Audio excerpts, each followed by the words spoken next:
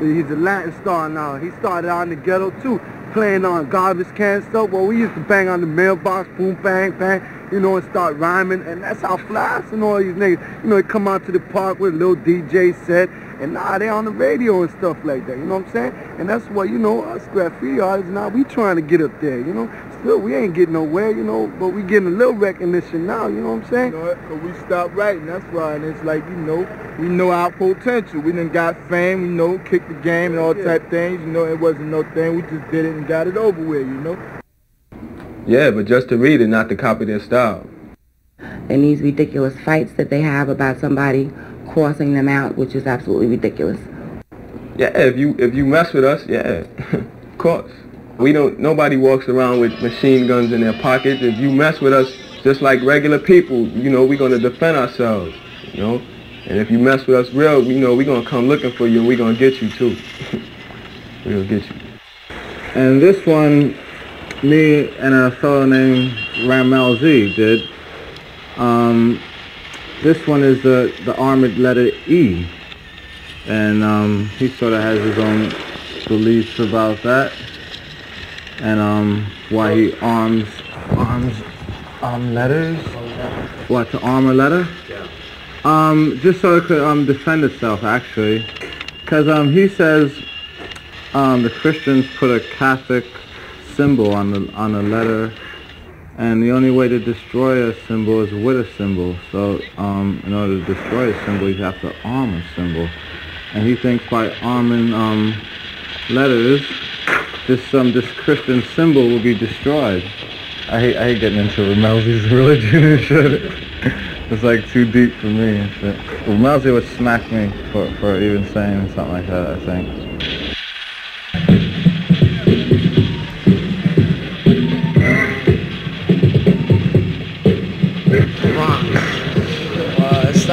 Like from around 183rd Street in Creston. Then like, you know, it, it was like there for around two years, three years, right? So like then they stopped breaking, right? So the prayers of everybody, right? His, his name is Jimmy D. He told me to make a division in Manhattan. So then I made one over here. And like most of the people stopped from the Bronx already, but some of them are trying to come back now, you know, because they hear that people are making money doing it.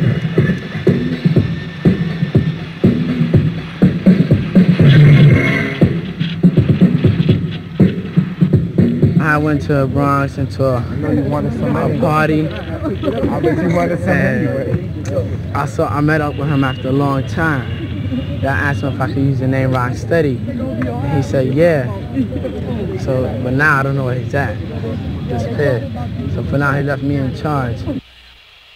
We always outran the cops and scaled them fences, but we can't, but we can't outrun each other. We can't, we can't play with each other's heads anymore. We'll be the end of our, we'll be the end of our own graffiti. I know where you live at, so I'm to pick you up sooner or later. You might as well just give yourself up. And they're really well known for that. What gives you away is ink in your hands. If you're doing inside, right? So usually, like, you would try to, like, uh, you try to talk it out. Nah, nah, man, like, I dropped something in the track, and I went down there to get it and all that, and you're trying to keep your hands in your pocket like this, and I saw your hands. And then he'll tell you, um, well, let me see your hands, and when you show your hands, if they're inked up, then you got, they got an arrest right there for graffiti. It's up to him. He can comply, or he doesn't have to comply. He can come with me, or he doesn't have to come with me. One way or another, he's going to come with me, though. Yeah. You know, I have a job to do. He has fun to do, doing his trains. I have a job to do. Unfortunately, I don't think they have anything to fear from the courts.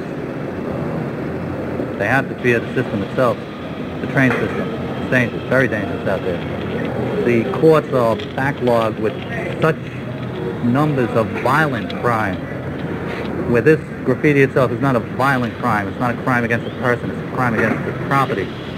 And it has to take, it has to sit on the back burner. They know the yards, man. They know the layups. They know the system.